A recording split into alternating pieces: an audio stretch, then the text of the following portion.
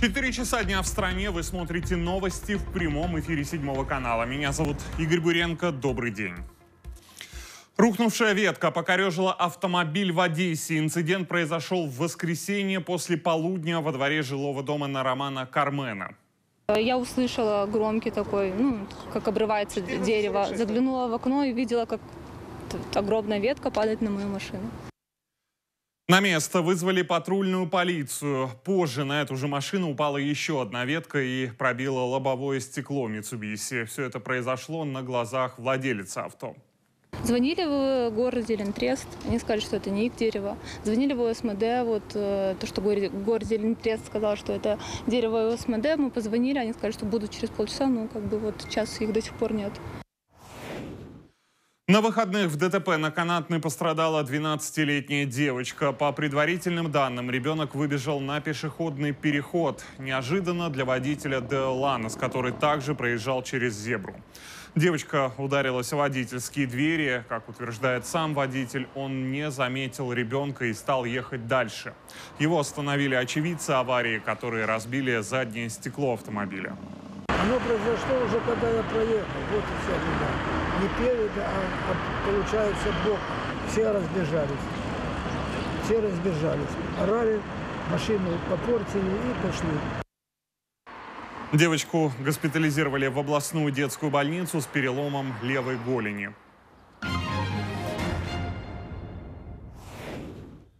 Семь пьяных водителей за минувшие сутки обнаружили патрульные в Одессе. На всех составили протоколы за управление транспортом в состоянии опьянения. Один из нетрезвых водителей успел совершить ДТП на улице Педагогической. «Опель» столкнулся с деревом. В результате двух пассажиров увезла скорая. Новый закон о всеукраинском референдуме могут принять не позднее июля. Такое мнение высказал глава Конституционного суда Украины. Именно этот суд 27 апреля признал неконституционным закон о всеукраинском референдуме, принятый Верховной Радой в 2012 году. Также есть ряд других решений, уже принятых судом, но ожидающих финальной реакции от парламентариев.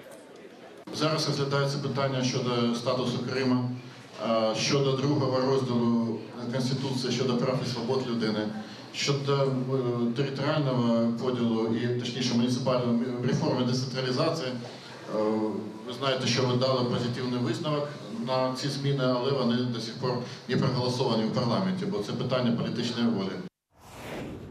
Крипторазвод. Одессита ограбили на полтора миллиона гривен, предварительно пообещав ему продать электронную валюту. Но в условленном для сделки месте продвинутый клиент ожидал с не менее продвинутыми сообщниками. Они избили мужчину и похитили мобильный телефон, ювелирные изделия и деньги. Одного из подозреваемых полиция задержала, его взяли под стражу без права залога.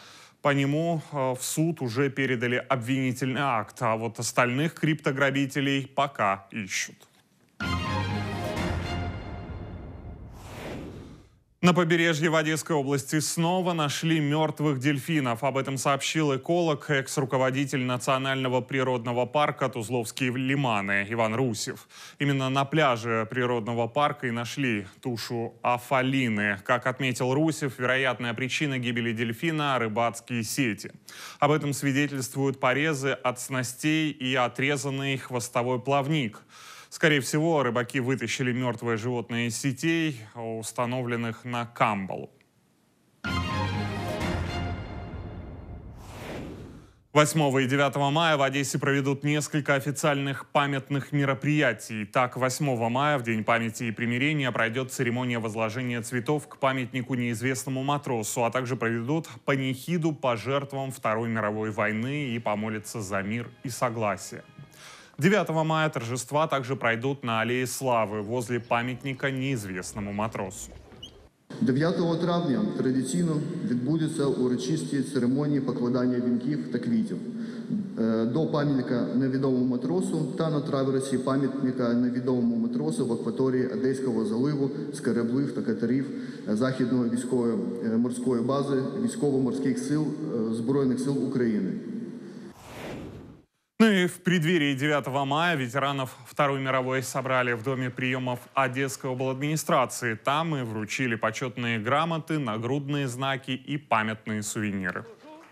Жертвами війни з нацистами стали багато поколінь наших громадян. І це справжній жах.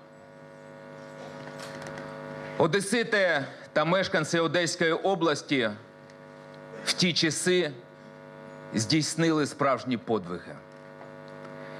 Шановні наші, дорогі ветерани, кожен з вас беззаперечний герой. Большинству ветеранов уже хорошо за 90. Они почтили память своих погибших, друзей и сослуживцев. Шокирующая статистика передовой Второй мировой войны. Командир батальона мог прожить в среднем не более месяца. Командир роты до недели. Командир взвода три дня, а рядовой солдат одно наступление. Но выжившие в той войне хорошо помнят день, когда она закончилась. Мы взяли Вену, шли на Прагу. Я с ротой ехал на коне. Рота тоже автоматная пересела на лошадь. И я оторвался от лошади, это ночь была. Поехал на лошади, оторвался от, от, от, от роты. И слышу ночью стрельба, стрельба сзади меня. Я думаю, что ж такое, там же рота. Я возвращаюсь, а мне говорят, война кончилась. Вот это впервые я узнал ночью. Пока это вся информация. Больше новостей смотрите уже в следующем выпуске. Увидимся в 18.00. Оставайтесь седьмым.